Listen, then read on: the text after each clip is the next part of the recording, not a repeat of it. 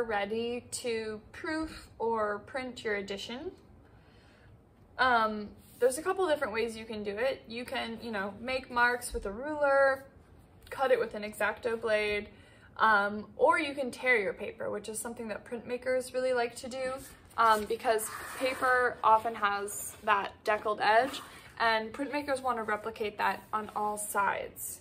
Um, so to do that, you'll need a tear bar, which is a metal straight edge with a tapered edge um, and a large cutting mat. Now you're welcome to like use a ruler, make marks where you need to make the, the tear marks, or you can just use the grid of the cutting mat. And I'm gonna use the grid of the cutting mat to uh, minimize the amount of pencil marks that I'm making on the sheet of paper. So I just turned the sheet of paper over onto its back um, because when I'm tearing, uh, that means that the deckled edge is going to be pulling towards me um, and how you can often tell the front side of the back side of a sheet of paper is that the deckled edge tapers downwards towards the back. And this has to do a lot with the way that the paper is made. Um, paper is made on a screen usually. Uh, they dip the screen into the paper pulp, um, let the water drip out, and then uh, it's called couching. Couch it onto um, blotters and then press those. So often paper will actually, the back of paper will actually have that grid mark from the screen on which it was made on the back of the paper and that's why the deckled edge um, goes downwards. So to get the deckled edge to face downwards, I'm gonna flip my paper over. Oh, another good way that you can tell the front and back side of a paper is if your paper has a watermark, um, whichever way the watermark is right reading, that will be the front of your paper. So I flipped it over. I'm lining my edge up with the um, far line on the cutting mat. Don't start at the one on the cutting mat, otherwise you're gonna cut your paper one inch too short. Um, so make sure that it's lined up with the where the zero would be. And I also have it lined up with one of the horizontal edges. So the first cut I'm gonna make, because I want my paper to be 11 by 14, and I know that my long edge is 30. So I'm gonna cut or tear to 14. And I'm lining up my straight edge with the line at the 14 at the bottom and the line at the 14 on the top. I'm gonna, as best I can, leverage the middle of the tear bar so it doesn't move while I'm tearing. Grab the far edge and start to pull along the tear bar. Just like that. All right, so now I have two pieces and I wanna get the 11 out of this other side, so it's 22 inches wide. Line it up with the 11. And tear. And then I'm gonna do the same thing for my last piece of paper. Um, if you're working in the studio and there's a lot of other students that are printing as well, you just wanna write your initials uh, in the bottom corner on the back of your sheet before putting it in the water bath. Um, and then once your paper is all cut and ready to go, you can come over to the water bath and place your paper in, press it down to make sure that it's completely submerged, and you'll want to soak your paper for about 15 to 20 minutes before printing. All right, so after your paper is soaking and before you apply ink to your plate, it's good to set up the press. Um, hopefully the blankets are nicely rolled for you to get started. So you unroll the blankets. Make sure the press bed is all the way out so you can lay them flat. And you know, just tidy them to make sure they're one on top of the other. It's good practice. And when we're printing and etching, we use three blankets. There's the top blanket, which is kind of rough, um, which is called the pusher. There's the middle blanket, which is soft and thick, which is called the cushion. And then there's the bottom blanket, which is called the catcher. So make sure that they're put on the press bed in this order. And then roll it through until the roller is about midway through the press. And now we're going to adjust our pressure. So there are these cranks on either side of the press. You're gonna wanna rotate these evenly. Um, this press bed's quite large, so I can't really rotate them at the same time. So, but I'm gonna try to move them um, as much as possible, um, one at a time. Um, and that's because you don't wanna crank one side super tight before you crank the other side, otherwise the pressure roller will be at an angle and that could damage the press. So right now I'm just gonna turn this one once and then come over here and turn the other. And I'm basically just adjusting the pressure until I start to feel some resistance. Which I am starting to feel.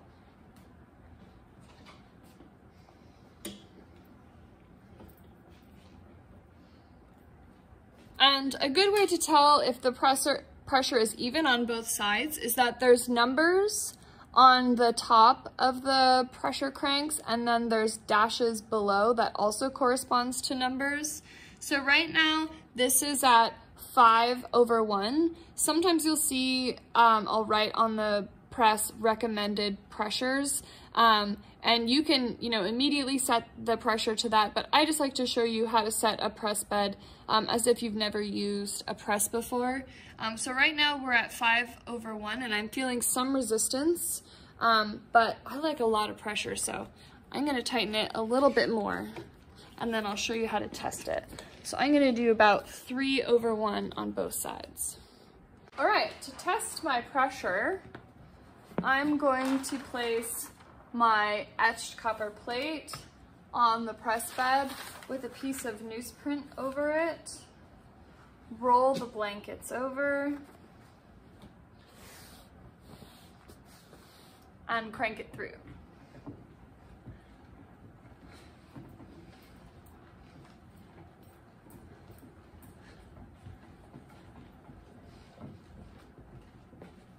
All right, once I've cleared the plate, you can roll it back. And then I'm looking at the impression of the plate in the newsprint. So the gauge of copper we're using is quite thin, um, and newsprint is quite thin, but I can see that there is the impression of that plate on the paper. So I think that this might actually be good, and we'll know better when we print um, and we can adjust our pressure from there. Once your plate has been etched, you'll want to remove the hard ground before you can print your plate.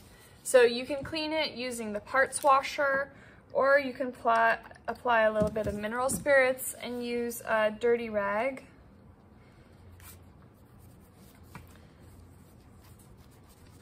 And just rub the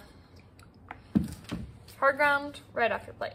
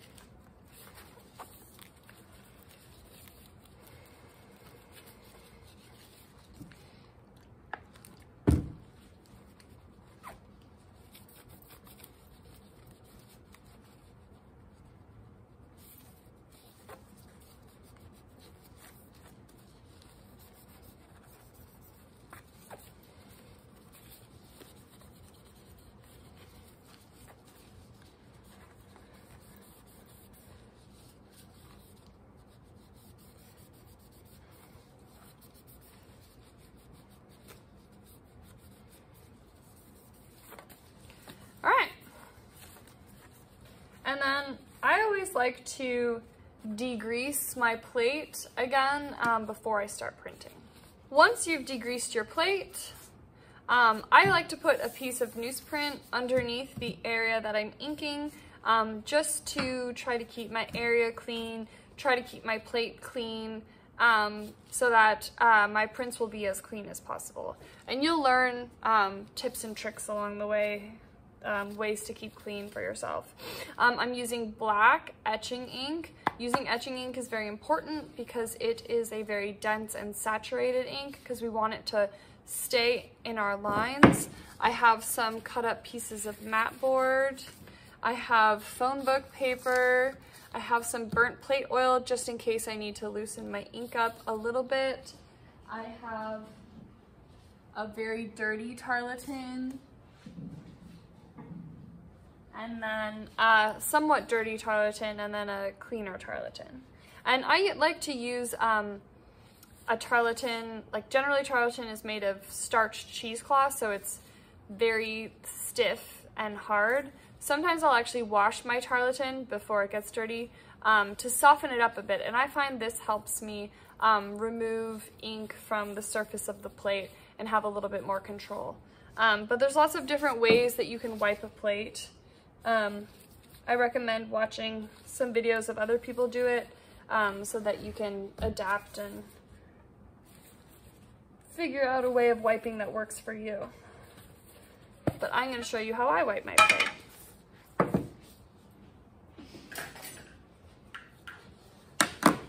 All right, so when we're inking, we don't want to gouge the ink.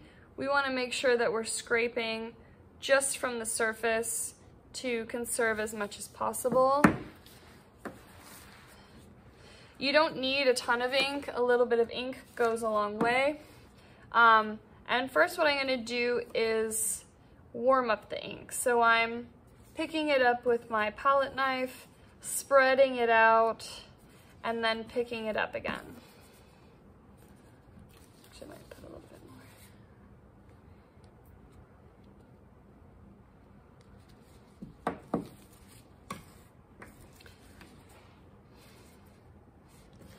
And right now I'm just pulling a proof, so I'm not gonna pull out that much ink. If you were going to print your whole edition, you know, you might wanna pull out more ink, but a little bit of ink goes a long way.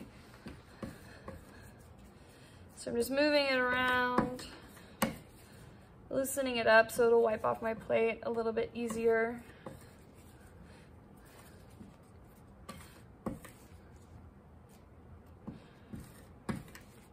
All right, so when you've got it loosened up, you're ready to start putting it on your plate.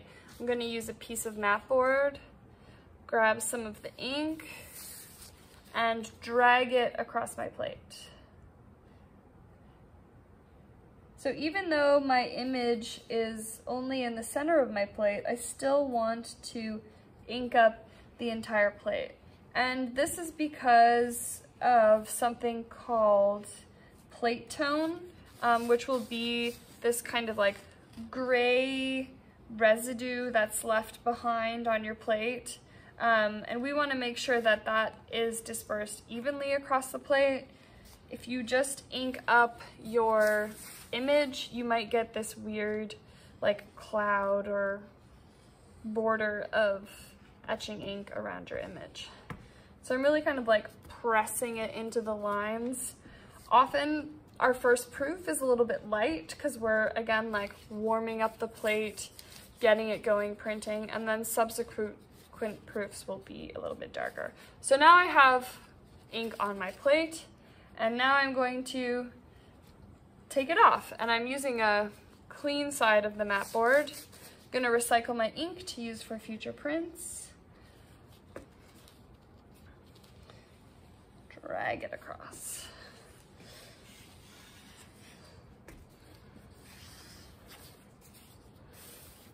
All right, so when I've removed most of the ink, I'm ready to start wiping. So I'm gonna start with my dirty more starched cheesecloth. And I'm going to move all the loose ends to behind it, bunch it up so that there's a side that's flat that doesn't have any of the loose ends on the front. I'm gonna grab the loose ends with my hand, to keep them together. So I made this kind of like a softball. Pat it down, and make it nice and flat. And I'm gonna move my wrist in a circular direction. And I'm just kind of lightly wiping the plate. I'm actually like pushing the ink off the plate onto the newsprint.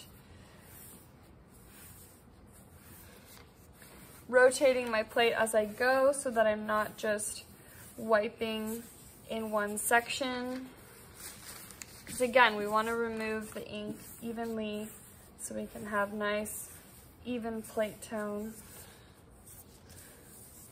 And I'm being careful about the lines. I don't want to over wipe the lines because I do want them to be nice and dark. All right, so I'm getting there. I've removed a lot of the ink. Um, now I'm going to move on to the softer tarlatan that is a little bit dirtier. Again, bunch it up so that there's this nice flat part on top. And again, using that same action, and I'm pressing very lightly because I don't want to take the ink out of my lines. Being very careful around the areas of the image. And again, moving my plate around. And you can see the ink on the surface of your plate. There might be some areas that you need to focus in on more. Okay, that's good. And then I'm gonna move on to the cleaner tarlatan just to finish up. Again, just lightly dragging it along the plate. I don't want to wipe anymore because I don't want to wipe the actual ink out of the lines. So I'm going to remove my gloves. Um, and I'm going to finish up with a piece of phone book paper. rip one of these out. Um, I like to cut them into smaller portions so they're a little bit more manageable.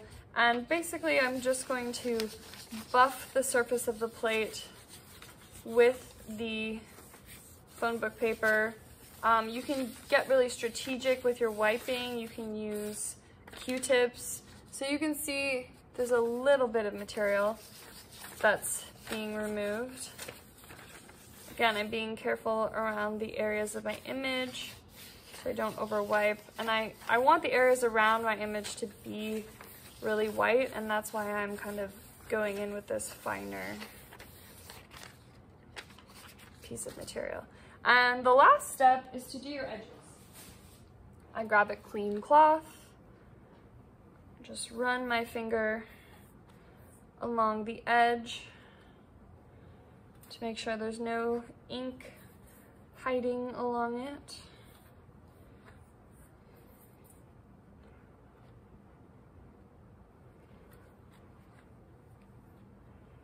All right, so now I'm ready to print. I'm going to carefully place my etching plate in this grid that I've made. Um, and this is to help with registration so that my plate falls in the exact same spot each time and I have a nice even border. Okay, so you'll wanna blot your paper before we print on it. Um, so take it carefully out of the water bath. Um, you might wanna wash your hands before doing this so you don't get your paper dirty. Um, you'll let the paper drip dry in the bath and then place it onto the blotting towels. And basically we just want to get rid of this shiny sheen on the surface of the paper. So you can smooth the towel out with your hands. Take the rolling pin, roll it out.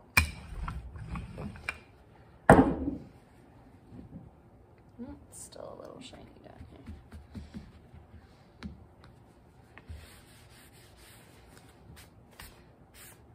All right, and then we'll bring the paper over to the press bed. Um, I like to pick my paper up like this, so again, my fingers are minimizing contact with the paper. So now I'm going to line up my 11 by 14 sheet of paper with the surrounding grid.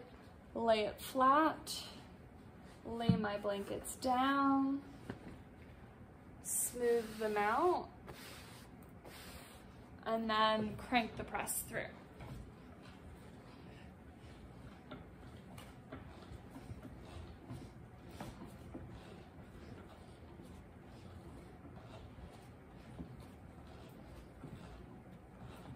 All right, so on the other side, we'll move the blankets aside.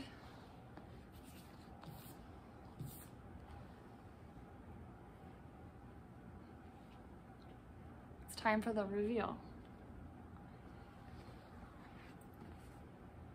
All right. And there we have it. For some reason, I have like this weird line in the middle of my paper, which I'm not sure where that came from. But besides that, you know, my lines look a little bit light, but it was my first time proofing. Um, again, I proofed on this my good paper, um, you're probably gonna wanna just proof on a piece of newsprint or some scrap paper that you find in the drawer before moving to your good paper. Um, but for the most part, this looks good to me besides that line. All right, so when you start printing your edition, you're going to want to uh, flatten your proofs and prints as you go. Um, if you dry them on the drying racks, because they're still damp, they might start to crinkle and buckle, and we don't want that. We want our prints to dry nice and flat. Um, so we'll take this heavy piece off of the drying board. Um, and you're gonna wanna make a sandwich of um, newsprint and blotters.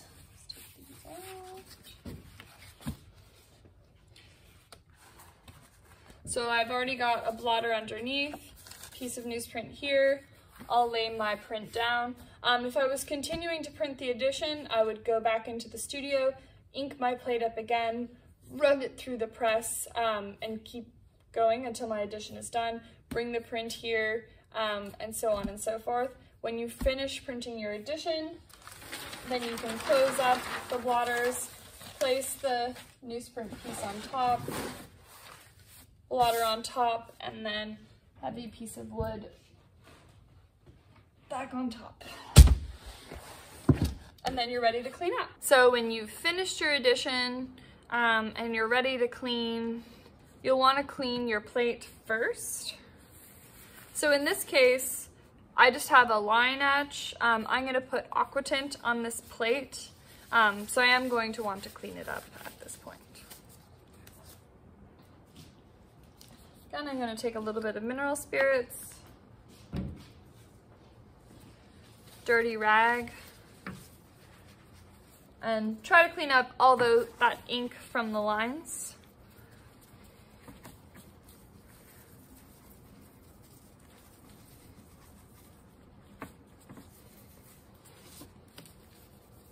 Clean up the back of the plate.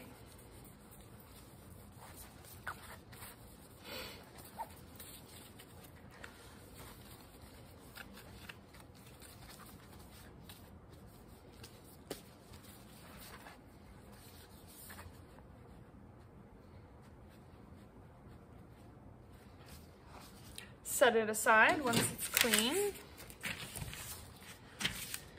And then, and then if you still have a lot of ink left, you can scoop it up with your palette knife, scrape it into the container, then make sure you smooth it out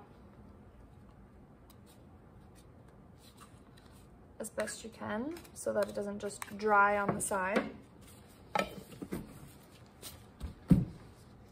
I'm gonna use this little razor blade to clean up my little ink pile. Use it to clean up my palette knife.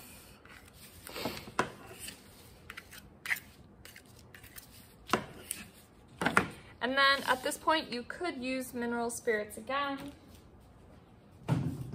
but I like to use vegetable oil.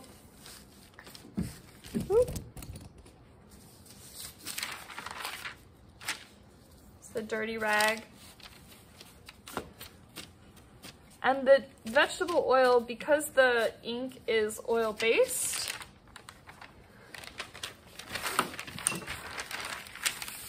it loosens it up. I can use it on my palette knives as well.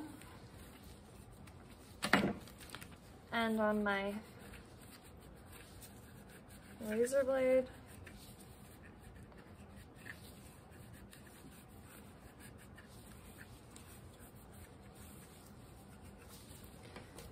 And then once I clean things up with vegetable oil, I want to degrease.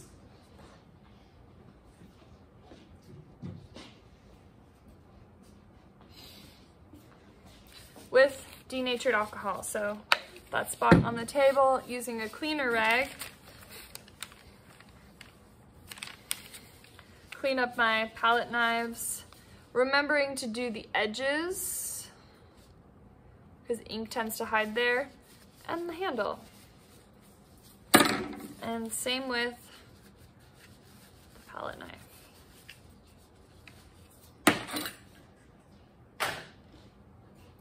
And then we can still use these. They're not horribly dirty yet, so we'll put them in the reusable rag pile. Fold this up throw it away, put the tarlatan away be reused. And I'm ready to um, apply aquatint now.